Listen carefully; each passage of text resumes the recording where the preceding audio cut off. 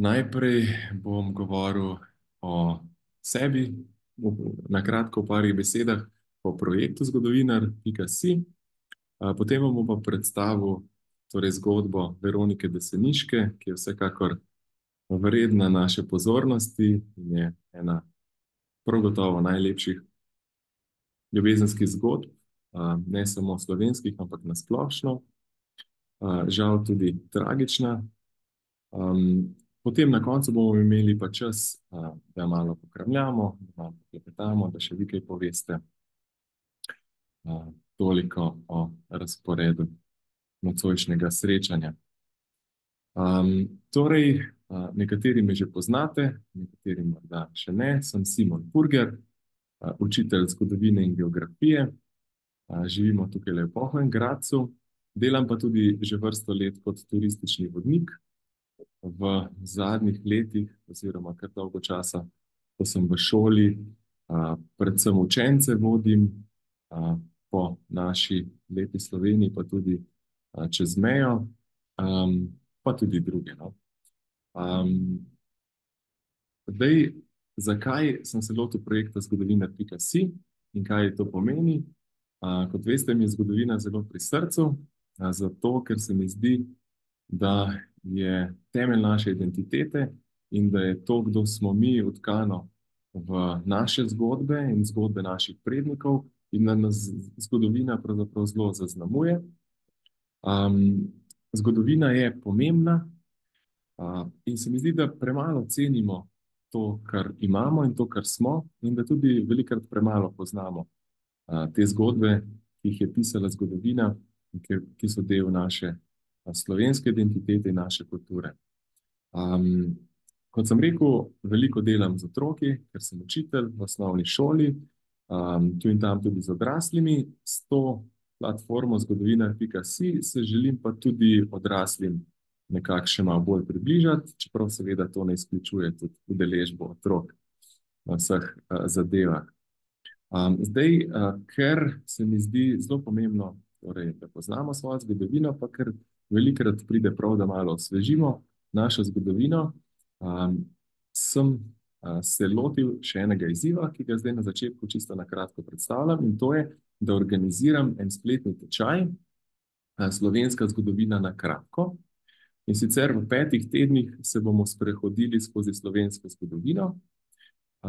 to bo izgledalo tako, da boste vsak teden dobili, link na posnetek, ki ga bom predstavil, o določenem delu zgodovine, torej šli bomo nekako čez celotno zgodovino našega prostora. In ta posnetek si boste ogledali lahko kadarkoli, potem se bomo enkrat na teden dobili na Zoomu, da malo predebatiramo tisti del zgodovine, še prej boste pa dobili Kahoot kviz, ki, vam bo malo povedal, kako vam je šlo oziroma koliko poznate to zgodovino, da boste na en tak simpatičen način malo preverili svoje znanje. In na koncu, namesto zadnjega srečanja, torej po petih tednih, bomo pa imeli srečanje v živo, kdor le lahko, se bomo dobili v Ljubljani in vas bom vodil po antični Emoni. Ljubljana seveda je bila že v rimskih časih mesto, in prav je, da poznamo tudi ta zelo zanimiv del naše zgodovine. tako da, to je v tem spletnem tečaju. Na kratko, zdi se mi dobro, da, da poveča vsak svojo razgledanost, naredi kakšen korak. Začetek tega tečaja bo pa enajstega marca dva tisoč štiriindvajset, torej relativno kmalu. in kar je seveda velika prednost, da boste, lahko dostopali do vseh teh vsebin iz vašega naslanjača oziroma nekako, da boste udobno spremljali vse, kar se bo dogajalo. Zelo bom vesel, če se boste udeležili, tega tečaja. več vam bom pa, spregovoril, v mailu, ki vam ga bom poslal, oziroma, vsem tistim, ki ste prijavljeni tudi na moj newsletter.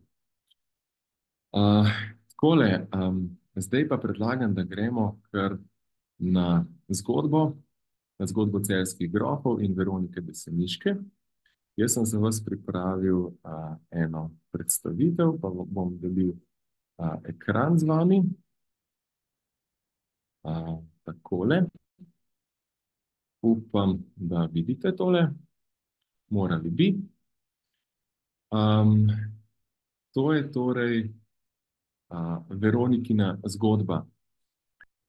Um, najprej, seveda, prvo vprašanje, ki se nam postavlja, kdo so bili celski grofje. Tule je ena taka romantična fotografija zgornjega gradu, celskega. Um, pa si oglejmo najprej na kratko, kdo je bila ta mogočna rodbina. Doma so bili celski grofje pravzaprav na gradu Žovnek v Savinski dolini.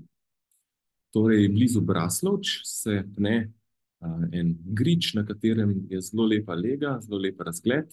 In tukaj so bili doma gospodje Žovneški, uh, ki jih zasledimo v 12. stoletju. Prvi uh, gospod Žovneški naj bi bil Gebhard I. Zdaj, nekatere zgodbe govorijo, da so celo povezani z uh, vejo Heme Krške, oziroma uh, te pomembne plemkinje, ki je živela kakšno stoletje pred njimi, ampak to ne moramo točno, točno povedati, ali je to res. Um, v naslednjem stoletju, torej 13. so se začeli z različnimi porokami in dobrim gospodarjenjem uspenjati po družbeni lestvici. Tisto, kar je pomembno, recimo, da so se postavili na stran Habsburžanov v eni zelo pomembni bitki srednjega veka, ko je Rudolf Habsburški na Moravskem, današnjem Češkem, premagal češkega kralja Otokarja II. Pšemisla, ki je tudi stegoval roke po osrednjem ozemlju Avstrije, tudi naših slovenskih deželah. No, in to, da se podredijo Habsburžanom, da postanejo njihovi vazali, kot se reče, jim je pomenilo odskočno desko za naprej. Ker so bili zvesti svojim seniorjem, svojim višjim feudalcem, Habsburžanom, so v 14. stoletju dosegali hiter uspon. Um, takrat so tudi dedovali po grofih Vaubrških, ki so bili doma na Koroškem e, in so po njih dobili, oni so izumrli in dobijo celje. Um, in tako postanejo tudi sredi 14. stoletja celski grofje. Prvi celski grof je bil Friderik I. Um, in on je bil ded od slavnega Hermana II., o katerem bo v nadaljevanju več govora. Uh, torej, kdo je bil Herman II.?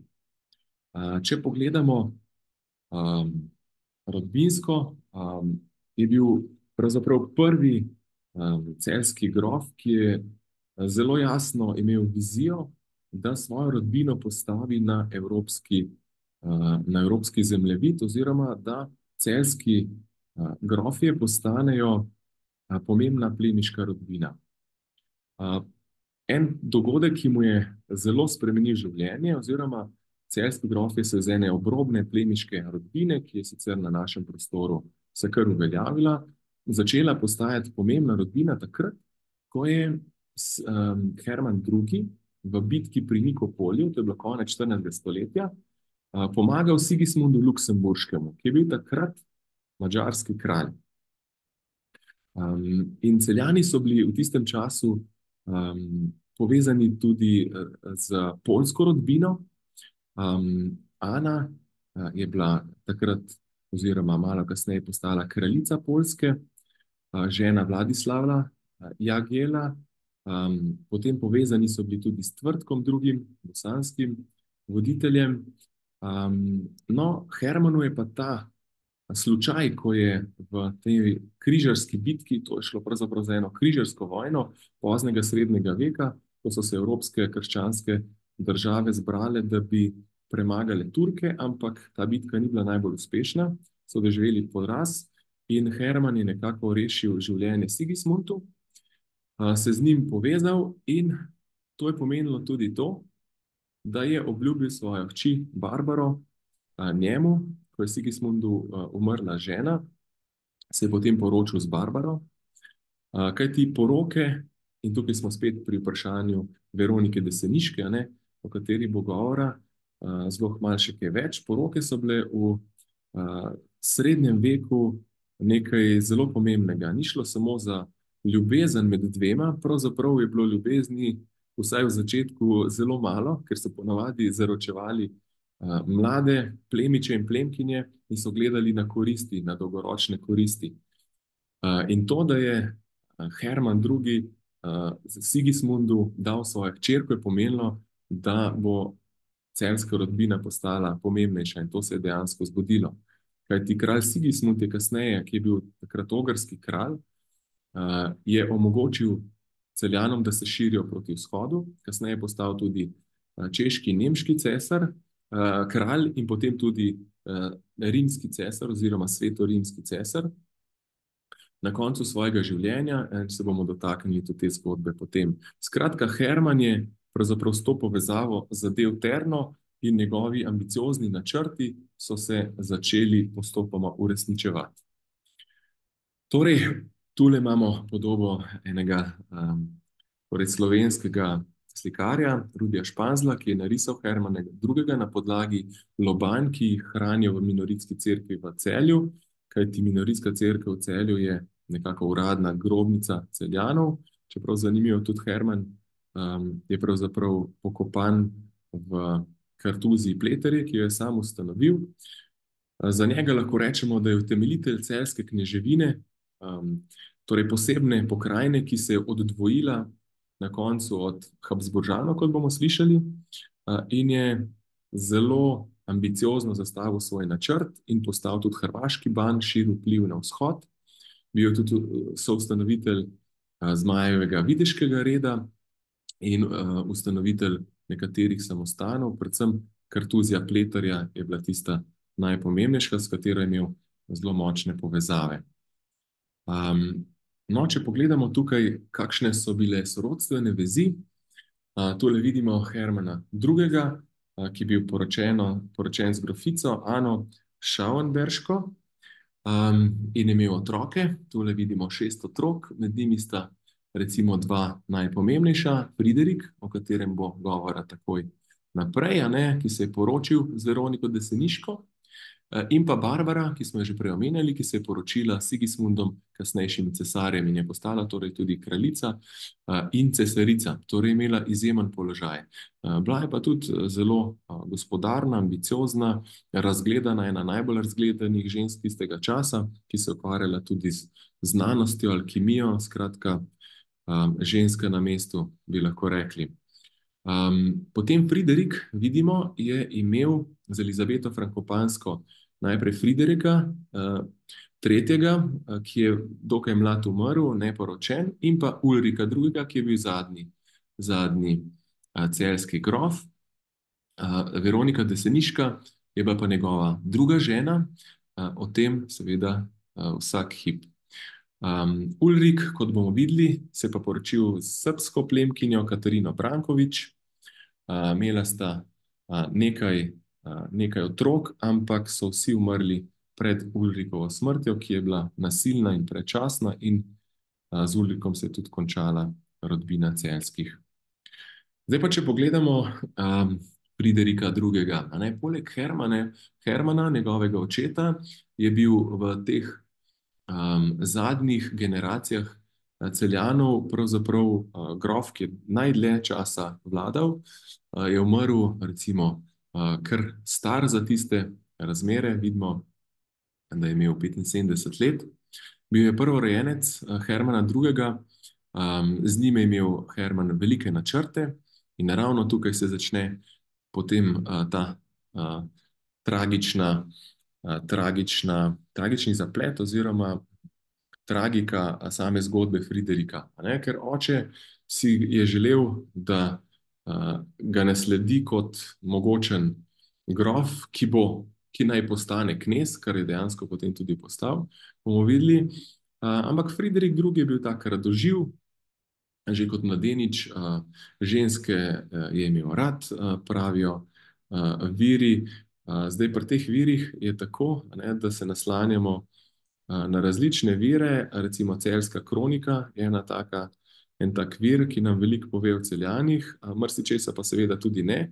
Nekateri viri so bili pa izrazito um, kritični do celjanov ali pa jim tudi ne naklonjeni oziroma sovražni, tak je bil tudi recimo uh, Silvio Enea Piccolomini, um, ki um, je bil kasnejši papež celo, ampak se je kot um, cesarjev uh, svetovalec, zaupnik, uh, mudil kar dolgo časa tudi v krajinskih deželah uh, in uh, je bil precej nastrojen proti celjanom in on recimo Friderika prikazuje kot nekega lahko živeža, uh, ki mu tudi za crkev ni mar, uh, ampak uh, drugi viri pravzaprav tega ne potrjujejo. Tako da je treba vire tudi vedno gledati, kdo je pisal, zakaj, s kakšnim ozadjem.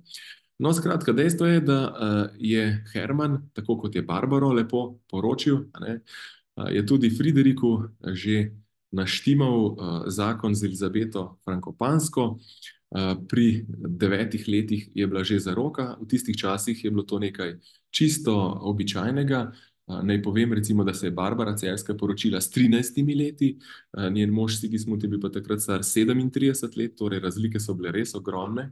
Danes si težko predstavljamo to, ne bi seveda takega moškega česa obtožili, najbrž tudi malo upravičeno, ampak takrat je bilo drugače. Ne? Takrat je bila kultura drugačna in poroke so bile res um, institucija oziroma stvar, s katero so želeli med sabo povezati rodbine, zgladiti spore, um, se razširiti na določeno ozemlje. In uh, celski grofi so bili mojstri tega, ne? mojstri porok, um, tako kot recimo kasneje Napoleon, nekaj svoje. Brate, sestre, bratrance in sestrične, poročeval po Evropi na začetku 19. stoletja, so tudi celjani imeli tako agendo, sploh Herman II. No, Elizabeta je prinesla bogato doto v družino, zelo bogato, različne posesti, pomembne gradove, Središče posesti je pa Friderik v Krškem tam se je zelo zadrževal. Čeprav poročajo viri, da se je zveza z Elizabeto hmal začela krhati. Elizabeta je bila prvič precej starejša od njega, drugič pa je, da ni bila ravno um, zelo mikavna na pogled, ni bila neka manekenka, bi rekli danes. Uh, zato sta se začela oddaljevati in začela tudi ločeno živeti. In potem, ko je Herman II. želel ta zakon nekako um, pri, uh, pripeljati nazaj v življenje, oziroma njune nesporazume zgladiti, se je zgodila Elizabetina smrt v Krapini. Krapina je bila tudi en tak dvorec, na katerem so se zadrževali. Na tem gradu, pa toplice so bile zraven, Elizabeta je bila tudi zelo bolehna, in Elizabeta umre. Zdaj je tako, ne, različne uh, govorice so se začele, ki so kasneje prerasle v različne mite, ne, da, naj bi, um, da naj bi Friderik uh, umoril to svojo ženo, zato ker je takrat že začel pogledovati za Veroniko, ki je bila spletična od Elizabete. Um, dejstvo je, da tega ne moramo točno vedeti, ne, kaj se je zgodilo, ampak bilo je sojenje. Kaj ti te govorice so prišle na oho tudi ogrskemu kralju Sigismundu, a ne svaku od Friderika, in um, sojenje se je zgodilo na Mačarskem, uh, in Friderik ni bil spoznan za krivega. Sodom je pa uh, oseba, ki je bila slučajno takrat uh, tam, danski kralj, um, tako da niso našli neke krivde. Um, ni bil obsojen, in vse govorice, so še do današnjih dni, ne, so, so nepreverjene. Ne moramo reči, da je Friderik II. umoril svojo ženo.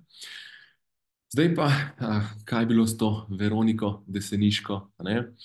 Um, kot sem rekel, je bila spletična Elizabete Frankopanske.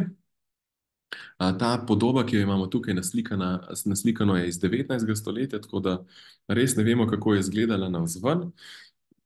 Prav gotovo, da je bila lepa, ne? ker če ne, se ne bi Friderik oziral za njo. Prav gotovo, da je bila precej lepša od uh, gospodarice Elizabete. Um, in Friderik se je vnel, pravzaprav uh, je bila ljubezen oboje stranska.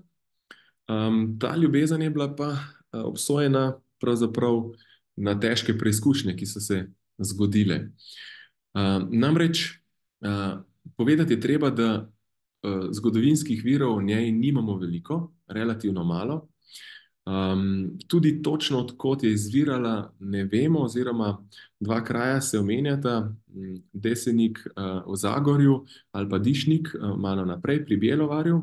Najbrž trenutno kaže, da je bolj ta drugi kraj. Um, vsekakor sta se spoznala že pred ženino smrtjo, uh, in potem sta se uh, približno dve ali tri leta, tri leta po smrti Elizabete poročila. V povezavi s tem, seveda, so pa se spletle različne mite, miti in legende, uh, in o teh bomo tudi še kaj več spregovorili. Najprej prva zadeva. Herman seveda ni bil navdušen nad to zvezo. Zakaj? Ker je bila, ker je bila Veronika nižja plemkinja, ni bila iz kakšne ugledne plemiške rodbine, torej iz neke obrobne plemiške rodbine, in je kot taka ni predstavljala dodane vrednosti za celske grofe, ki jim je seveda Herman namenil čudovito bodočnost. Zdaj pa kar naenkrat tale Friderik se zaljubil v eno punčaro, da tako rečem, in Herman je bil zelo slabe volje, zato sta se skrivala. Um, najbrž kar v Jurkloštru, to je bil samostan, torej južno od celja, uh, tudi kartuzijanski samostan, kot smo slišali, so bili celjani zelo povezani s kartuzijani. Um, v Jurkloštru sta zelo verjetno nekaj časa skrivoma bivala. Uh, Friderik si je dal zgraditi grad Friedrichstein na Kočevskem. Legenda govori tudi, da naj bi imela otroka Hanza oziroma Hanzeka, Janeska bi rekli danes. Um, to ne moramo čisto točno potrditi, različne uh, legende so o tem. Um, skratka, um, oče je bil pa zelo slabe volje, um, iskal jo je. Um, Friderik je imel zelo verjetno um, zelo dobre odnose s priorjem, tega samostana v Jurkloštru, um, ki mu je bilo ime um, Arnold. Um, no, ker se je pa Friderik um, očitno um, počutil zelo ogroženega, iskal tudi zaščito pri Benečanih, in tukaj imamo tudi zgodovinske vire, ki pričajo o tem. Uh, Benečani so bili namreč uh, sovražniki celskih grofov, oziroma nasprotniki, no, um, konkurenti, bi rekli. Uh, in se je Friderik na nje obrnil, zato ker se je uh, res počutil um, nezaščiten, ogrožen, ampak Benečani so um, to prošnjo za azil, bi danes rekli, um, so zavrnili, torej mu niso nudili zatočišča. Um, na sliki vidite, kako naj bi izgledal ta grad, ki ga je, bomo slišali, um, dal potem Herman porušiti v Besu. Uh, kasneje so ga sicer obnovili, v 18. stoletju je potem dokončno začel propadati in danes so še ruševine nad Kočevjem, si ga lahko ogledamo. No, Herman je potem zvijačo ujel Friedrika, namreč zvabil ga je kralj Sigismund na svoj dvor in seveda Friedrik mu ni mogel odkloniti. Prišel je ta, Friedrika je potem Sigismund izročil Hermanu, ta ga je pa potem zaprl. Najprej na tale grad, ki ga imamo tukaj um, na sliki, to je grad Ojstrica pri Vranskem, potem pa v celski stolp na zgornjem gradu. Kot sem rekel, je Herman uničil Friedrichstein, to je bilo zelo nenavadno, ker grad je imel v srednjem veku pomembno vlogo, bil je središče zemljiškega gospodstva in je zelo nenavadno, da bi katerkoli plemič uničil grad, ne, ker bi si s tem spodkopal svojo svojo moč na tistem ozemlju, ampak očitno je bil Herman res zelo besen na tega svojega neobogljivega sina in je dal porušiti ta grad. Veronika, Veroniki se je uspelo izmuzniti oziroma se je skrivala na okoli dolgo časa. Legenda govori tudi, da nekaj časa na gradu Vurberg v slovenskih goricah, potem je pa pri Ptuju ujeta in jo je zaprl Herman na grad Ojstrica pri Vranskem. Potem se pa zgodi um, ena reč uh, in sicer proces, sodni proces. O tem tudi piše celska kronika, čeprav uh, je ta proces uh, zelo nenavaden, bom povedal zakaj. Zdaj, na splošno govorimo, da je to prvi znani čarovniški proces, proces na slovenskem, ker je Herman, torej Veroniko, uh, ki je že bila njegova snaha, obtožil, da ga, zač, da ga je želela zastrupiti in da je njegovega sina Friedrika začarala, da se je zaljubil v njo. Zdaj, v tistem času, v 15. stoletju, pri nas ni bilo kakšnih um, gon proti čarovnicam. Ti procesi so se začeli približno 150-200 let zatem, tako da že to je kar ne navadno. um, Druga stvar, um, ta proces se je odvijal uh, v celju na enem kolegijalnem sodišču. Uh, celjani še niso imeli um, torej najviše uh, sodne inštance, ampak vseeno so sklicali um, neko skupino kot nekakšne porotnike. Um, in celska kronika pravi, da je imela, da je imela Veronika nekega zagovornika, besednik, uh, besedo uporabijo, torej besednik, ne čisto odvetnika, ki uh, je očitno tako prepričljivo govoril, da ni bila obsojena. Bila je torej spoznana za nedolžno. Zdaj um, lahko, kar z veliko verjetnostjo, tega se ne da dokazati, um, domnevamo, da je bil ta zagovornik prior Arnold, ne, ki je že prej skrival Friderika in Veroniko. Kakorkoli, uh, bila je spoznana za nedolžno, ampak seveda Herman se ni zadovoljil s tem in je v Bogu Veroniko znova vrgel na grad Ojstrico. Najprej je mislil izstradati, pa to nekako ni uspelo, zdaj spet legenda govori, da so jim metali okoliški prebivalci hrano skozi lino. Um, na to je pa naročil Herman II., da naj um, njegov, um, uh, njegov plemič Jošt Soteški uh, umori Veroniko in tako je bila umorjena, po nekaterih virih 17. oktober 1425, morda kakšno leto kasneje. Uh, umorili naj bi jo pa tako, da so jo utopili v vodi. Skratka, tragična smrt. Zdaj, pokopana je bila najprej v Braslovčah, ker je ta glad uh, ojstrica, torej blizu Braslovč. Potem je pa Friderik dosegel, da so jo prekopali in jo pokopali v kartuzijo Jurk Kloštar. Zdaj, o tem priča celska kronika in o tem pričajo tudi nekatere druge listine oziroma dokumenti iz tistega časa, ki so jih tudi našli.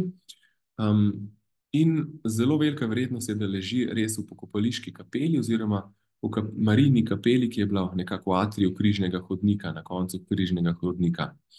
Um, zanimivo je to, da so jo že v 19. stoletju, ko se je zgodba o Veroniki Deseniški širila po naših krajih, to je čas romantike in um, te zgodbe so odmevale, sploh seveda ta zgodba Veronike in Friderika, ker je tako močna, strastna, tragična.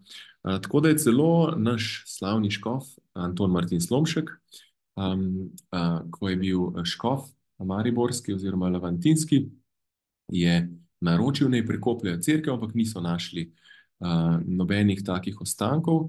Kot sem rekel, so kasneje ugotovili, da naj bi jo druge pokopali in o tem pričajo tudi ene listine, da so kartuzijani v Rimu oziroma svojega priorja no, prosili za posebno dovoljenje za pokop neke ženske, kar bi bilo sicer čisto nemogoče ne, v moškem kartuzijanskem samostanu, razen, razen, če ni šlo res za to povezavo s Friderikom, tako da zelo verjetno, da leži tukaj pokopana. Zdaj, Friderik II. Um, je potem um, bil nekaj časa zaprt, ko je umrl še zadnji njegov brat, se oče malo spravil z njim, oziroma ne čisto, ne, um, nekatera ozemlja mu je vrnil, um, uh, tako da sta nekako za silo sobivala. Uh, potem je pa Herman 1435 umrl takrat so bile kar zgoščene stvari, kajti Herman II. je šel na, um, v Bratislavo, kjer je bil takrat uh, ogrski kralj, uh, oziroma že cesar, tudi um, Sigismund, in ga je mislil poknežiti, torej da bi postal državni knez. Državni knez. Uh, je, bi, je bila pa največja čast, ki so jo lahko plemiči dobili v svetem rimskem cesarstvu, torej rimsko-nemškem cesarstvu, kot mu tudi rečemo. Namreč državni knezi so lahko volili cesarja. To pomeni, da bi bili tudi celski grofje kot knezi lahko celo izvoljeni za nemške cesarje. Ne? To je pa največ. In to si je Herman iz srca želel in je šel torej, na Mačarsko, oziroma današnjo Slovaško, bi rekli, ne Bratislavo. Um, ampak je tam potem zbolel, on je bil že kar precej star uh, in je umrl. Tako da sta v bistvu um, dobila naziv državnega kneza, njuna sinova, njegova sinova, Friderik II. in pa Ulrik II. In tako je nastala tudi celska kneževina, torej ozemlje celjanov se je na to um, ločilo od um, od Habsburške nad oblasti. Friderik je vladal bolj v ozadju. Um, tako Herman kot Ulrik sta bila, uh, sta bila bolj usmerjena v te evropske povezave, Friderik se je pa sploh po smrti Veronike držal uh, bolj zadaj in je seveda skrbel za določene stvari, ampak večino časa je prebil na Žovniku, v Celju, pa recimo v Krapini. Um, na to je pa potem 1454 um, umrl, torej kar v visoki starosti, in kljub svoji želji, da bi bil pokopan v Jurkloštru, ker je očitno uh, že prej tam pokopal Veroniko, so ga pokopali v minoritski cerkvi v celju.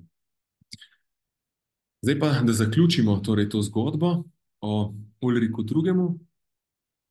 Um, Ulrik II. se je potem uh, zapletel in seveda tudi Friderik, ampak on se, smo rekli, se ni toliko vključeval v te stvari, uh, v spore in tudi vojno s Habsburžani.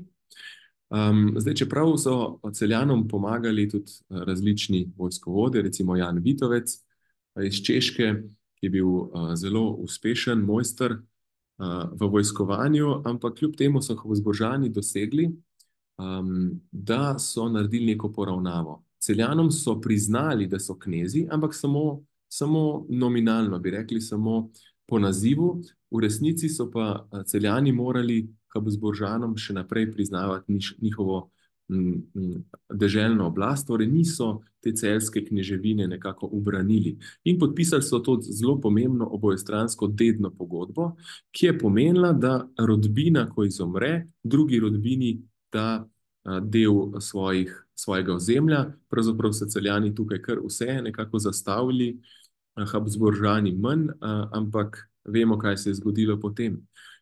Ulrik II. pride v spor z Mačari, šlo je tudi za vprašanje nasledstva in tega, kdo bo mačarski kralj. Skratka, rodbina Hunjadi se obrne, oziroma je vse skozi bila proti celjanom, in tako so v Beogradu um, Ulrika II., ki je tja prišel tudi uh, z mladim, mladoletnim kraljem um, Ladislavom posmrtnim, uh, so ga uh, torej tam ubili. Uh, Ladislav Hunjadi ga je bil in uh, tako je bilo konec celskih grofov, kajti um, Ulrik II. Je, je dočakal smrt vseh svojih otrok in je bil zadnji, torej celjan. Ozemlje cel, celskih so potem zelo hitro prevzeli Habsburžani, so se torej polastili in tako je bilo te veličastne zgodbe celskih grofov konec. Kot sem rekel, je zgodba Veronike Deseniške, ne, ta tragična, romantična, izjemna zgodba, odmevala v naših krajih. Zdaj lahko rečemo, da um, imajo Angleži ne, in svetovna literatura slavnega Romeja in Julijo, a, torej zaljubljenca iz Verone, ki jo pozna cel svet. A pa je tista zgodba izmišljena.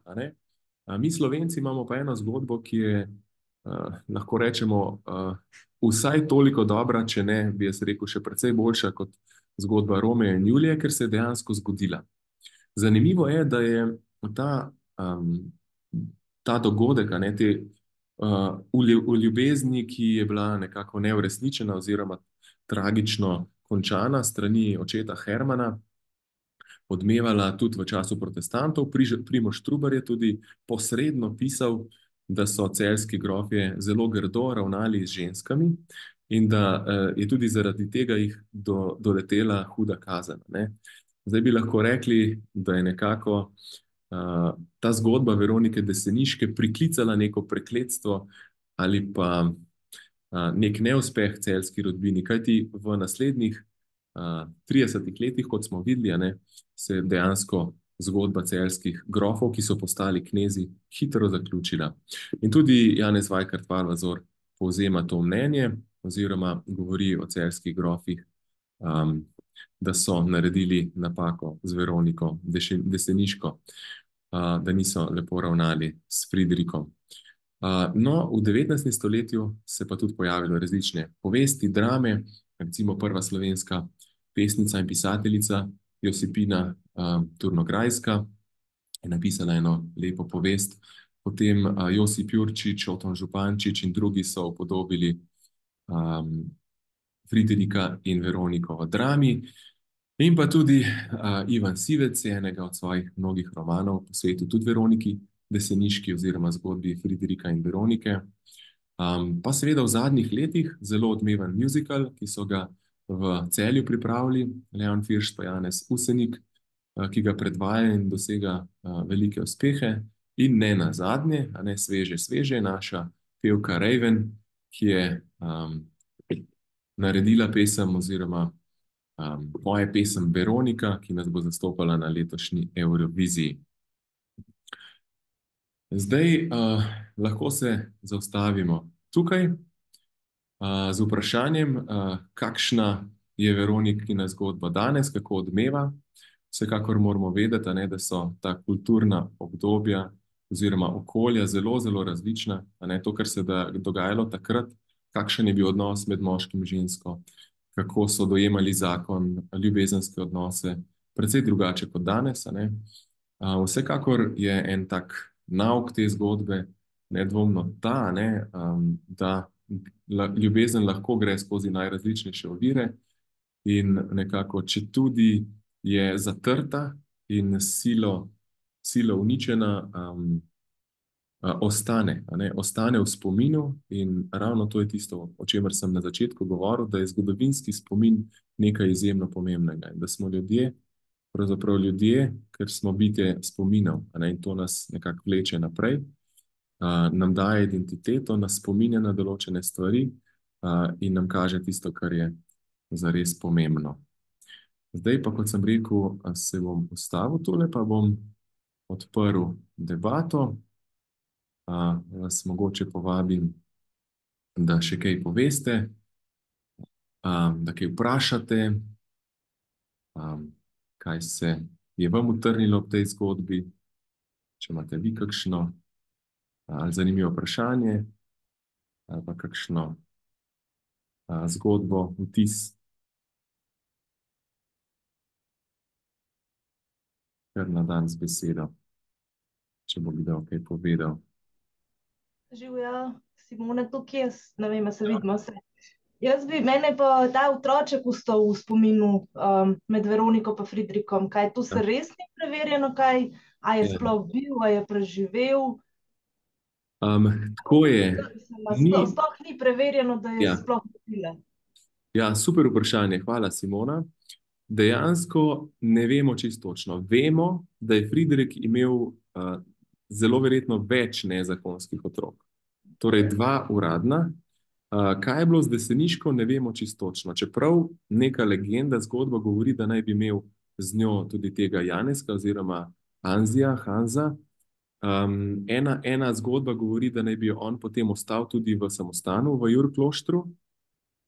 Um, neka zgodba govori, da naj bi kasneje ga želeli tudi rehabilitirati, oziroma da naj bi um, nekako prevzel, nadaljeval zgodbo celskih, um, ampak ne, tega ne moramo potrditi. No.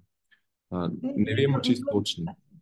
Ni bilo pa to nikjer upisano v kakšni crkveni knjigi, recimo, um, ki bi bil krščen. To je bilo res. Če, če v tajni, tajnosti, potem res. Ne, vsekakor, če je bil, recimo med Veroniko, je bil najbrž nezakonski. Uh -huh. um, in um, potem bohe, kaj se zgodi. Le zgodbe pravijo, da ga je Herman tudi njega ubil. Različne legende so, ampak ne moramo čisto točno nekako um, potrditi, kaj se je zgodilo. Um, tako da to je ena taka skrivnost, ki, ki ostaja. Uh, če, če, če pa je bil ne, res otrok, uh, se je pa zgodil prej, preden sta se poročila.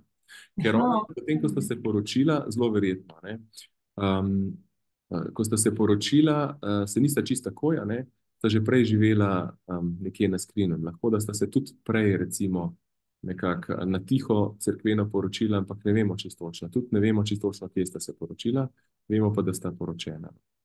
Bi bila, ne? Hvala. Okay. Super vprašanje. Še kakšno vprašanje?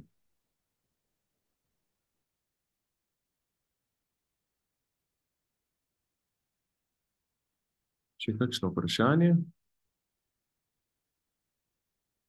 Um, No, a lahko jaz še nekaj vprašam? Ja, seveda. No, a mene pa zanima glede tega, ker je bila Veronika obsojena na pač, da so jo pol ubili pa to. Me zanima, kje je pač bil med tem Friderik, pa on ni nič od tega vedel, kaj se z njo dogaja. Ja. Hvala, kako je že tebi ime? Veronika. Veronika, ne, Veronika, točno, kako lepo. Super, Veronika, za to vprašanje. Um, ja, dejansko je bilo tako, a ne, da je najprej, najprej Herman ujel Friderika, a potem pa še Veroniko. In Friderik dejansko ni vedel, kaj se dogaja, ker ga je Herman zelo na trdo prijel, a ne, um, in uh, ni vedel, kaj se bo točno z Veroniko zgodilo. Um, in ni mogel pomagati Veroniki. a. Uh, on je bil, dali so ga v keho, a ne, v grajsko klet in ni mogel nič narediti. Veroniko so pa takrat po domače peglala. Um, in so je najprej hotel nekako dokazati, da je čarovnica, uh, ampak uh, zanimivo, a ne. Zdaj, nekateri zgodovinarji oporekajo tudi temu, kar piše v Celjski kroniki, kar so napisali takrat v 15. stoletju. Pravijo, da je to kar neverjetno, da bi, da bi grof Herman, ne, oče od Friderika, sklical tako sodišče, pa da bi izgubil na tem sodišču. Da to, pa, to je pa res težko. Ampak um, Celjska kronika tako poroča. Ne? Um, zdaj, kaj je bilo res, ne vemo čisto točno. Če, če, če se je res to zgodilo, je ona mogla res imeti nekega eh, izjemnega govornika tam, ki jo je branil. a ne. In to je najbrž bil res ta, ta prior Kartuzijev v Jurkloštru. Um, tako da ona ni bila obsojena. To, da, so, da je Herman ubil, to je bilo čist samovoljno. Po, po zakonih tedanjih ne, je bilo to nekaj bogoskrunskega, tako kot bi bilo tudi danes. ne. Če ti nekoga kar tako ubiješ, ker je nedolžen, bi po vseh pravilih moral odslužiti kazen. ne. To je nekaj nezaslišanega. In takrat je bilo to še bolj. to še bolj, ampak Herman si je vzel v roke to, to, to pravico. Čeprav je sodišče oprostilo, tako piše, da ni bila spoznana za krivo, jo Herman ni hotel osvoboditi, ampak je takoj spet zajel, jo spravil v svoj grad, ker on je bil, lahko rečemo, Boki Batina, ne? on je bil ta glavni šef tam in uh, si je lahko marsikaj prvoščil. In ker je očitno tako sovražil uh, Veroniko, oziroma tako nasprotoval temu zakonu, uh, je hotel obračunati. To je bil res en tak zelo neracionalen bes. Ne? Ker če bo on razmišljal, mogoče malo bolj racionalno, pa, pa bi pustil, pa bi že nekako. Uh, se tudi plem, plemkinja je bila, ne? Ampak ne, on je, on je hotel biti. a ne. In Tudi če je bila obsojena, mislim, če ni bila obsojena, je vseeno dal usmrtiti. a ne. Žal, Ja, hvala. ni za kaj. Lepo. Še kakšno vprašanje? A se kaj ve o Veronikinih starših? Um, ne, bi, ne bi vedel točen, mislim, da ni kaj dosti znanega. Ni kaj dosti znanega, ker sem rekel, da ona ni bila iz ene pomembne plemiške rodbine in to je bilo že 600 let nazaj, ne, tako da nimamo kaj dosti zapisov, mislim, da se ne ve kaj dosti o njenih starših. Samo to, da je bila zelo verjetno nižjega plemiškega rodu. Bila je plemkinja, ampak tako bomo rekli, manj pomembna plemkinja, oziroma zelo nepomembna plemkinja. Očitno je bila pa zelo lepa, da je um, tega Friderika tako očarala in da, je, uh, da, da je bila ta ljubezen res vzajemna, ne? ker sta oba v bistvu bila pripravljena tvegati svoje življenje. ne. Veronika, ker se je spopadla z jezo Hermana, ki je bil takrat izredno mogočen uh, vladar ne. Uh, uh, in Friderik, ker je tudi tvegal um, vse svoje premoženje in ugled, uh, da bi bil s to Veroniko. ne. Ampak žal, žal se zgodba ni končala. Uh, dobro, um, je pa treba še to povedati, da, da je Friderik ostal neporočen do konca svojega življenja. Torej, še, uh, še več kot 20 let, ja, skoraj tam okoli 20 let je bil neporočen, a ne, potem ko je Veronika umrla. Torej, je očitno res zelo, uh, imel zelo rad to, to dekle.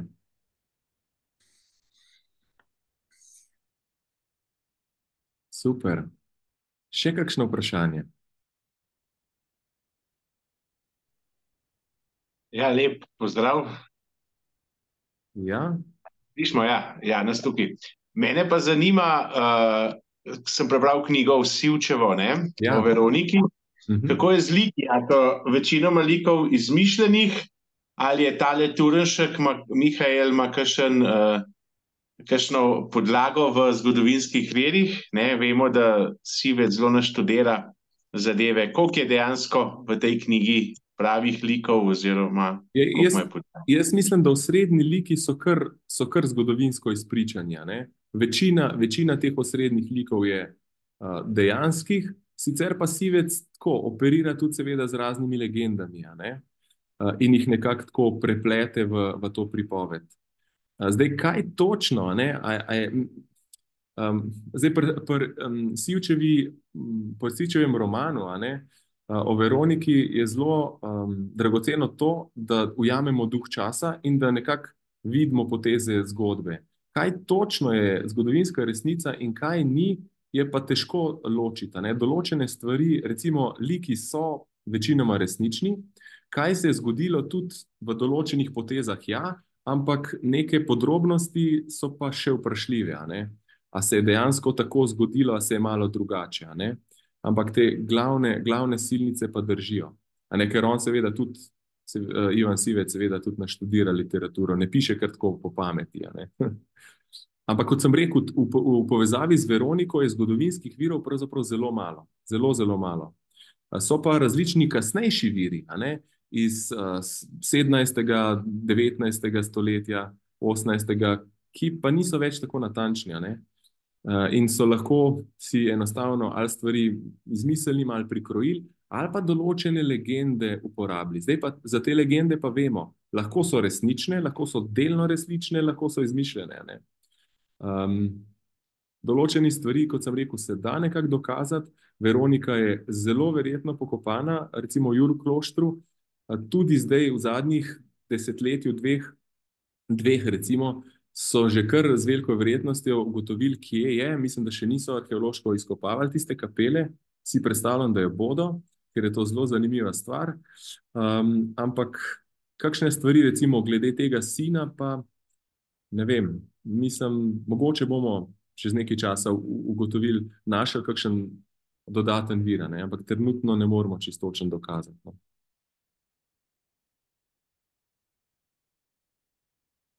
Še kakšno vprašanje?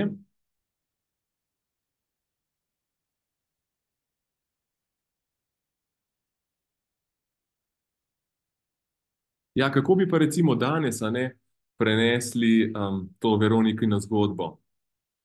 Um, a je možno, a je možna taka zgodba danes?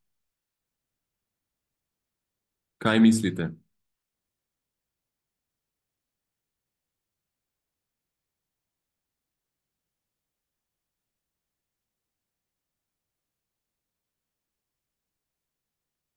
Kakšna, kakšna ideja? Vsekakor so zelo, zelo različni časi. Recimo družbeno, kaj je danes družbeno sprejemljivo, pa kaj nekoč, so velike razlike. ne. Danes načeloma se poročiš s tistim človekom, ki ti je blizu, s katerim si v nekem ljubečem odnosu ali pa recimo zaljubljen. a ne. Poroki s koristoljublja ni, mislim, so tudi, seveda, vsekakor.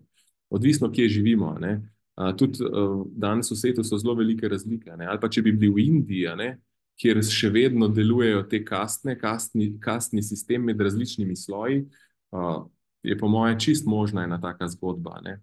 Uh, in seveda tudi so, ne, in v njihovi literaturi, in, in v filmografiji, a imamo tudi različne take zgodbe, ne, neuresničenih ljubezni, so najbrž tudi, tudi lahko resnične. Uh, v naši kulturi so se pa stvari precej spremenile. Um, tako da, um, ja. So pa seveda tudi neuresničene ljubezni, tudi danes, ne. motiv za različne ustvarjalce, literarne, filmske, glasbene in tako naprej. Um, zdaj, o pesmi uh, Veronika Raven ne bi bili dosti razglabljali. No? uh, um, vsekakor moramo držati pesti, da bo uspešna na Euroviziji, je pa seveda zelo moderna. Ne? In uh, mislim, da bi uh, Veroniko Deseniško kar mal kap, a ne, če bi, če bi videla spot naše slavne Veronike, ampak ja, drugačni časi so.